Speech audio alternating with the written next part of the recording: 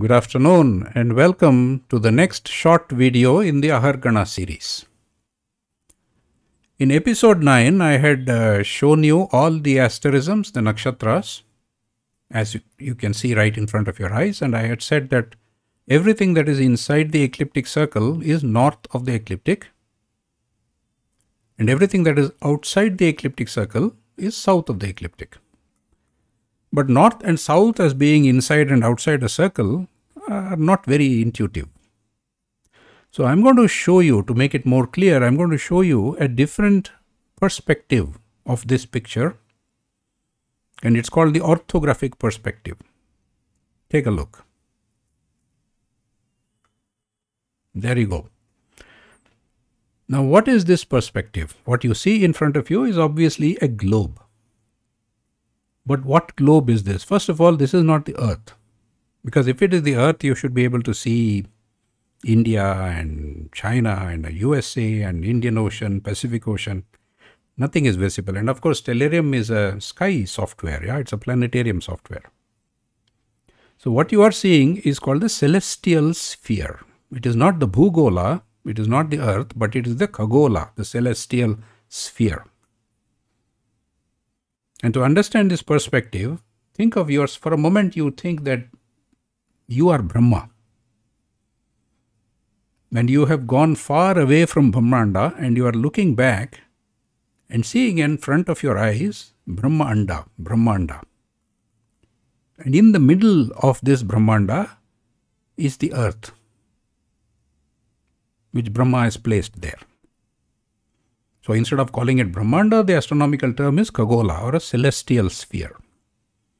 Now, clearly, this is a model, this is not a reality, uh, because you cannot model an infinite space inside a small computer screen. You have to do something to make it finite and give it a shape. In this case, the shape is that of a sphere. So, effectively, what you are seeing is the representation of the entire space that surrounds the Earth and all the stars which are in that space. So given this perspective, it is still geocentric because like I told you, in the middle of this is the earth and everything is revolving around the earth. Now given this perspective, you can see that north is in the top, there you go, and south is in the bottom. This is a very familiar perspective for us. And now you can clearly see when I say, let's say Ashwini is north of the ecliptic, there you go, it's, it is north of the ecliptic because we are so used to this perspective where north is up and south is down. And Bharani is north, Kritika is north, Rohini is south, Mrigashiras is south, Ardra is south, and so on and so on. You can clearly now visualize the ecliptic as well as the stars, whether they fall north or south of the ecliptic. Now, of course, why is the ecliptic slanting? The ecliptic is slanting because in reality, the earth is tilted.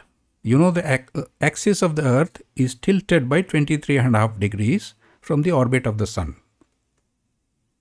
This is high school uh, astronomy, which all of us know. But in this projection, the Earth's axis is shown to be vertical, top to bottom, north to south. And hence, the ecliptic has become slanting.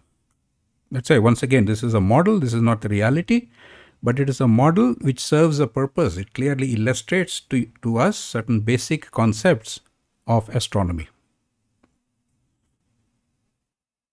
And another point I would draw your attention to is just like on the Earth, you can see latitude and longitude lines here. So the concept is that all the latitude and longitude lines of the earth are projected outwards into the celestial sphere.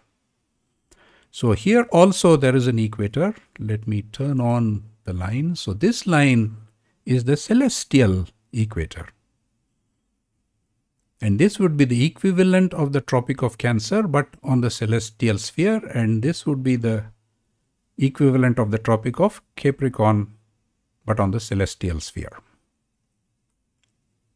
So I will continue to use this uh, projection a little bit later because it so clearly shows north and south, up and down that I need this for illustrating the concept of Uttarayana and Dakshinayana. So at that time, we will revisit this model. But right now, all I wanted to show you was the asterisms and how they are placed with respect to the ecliptic north-south using this perspective. So let me close this uh, short video now. Thank you very much for watching.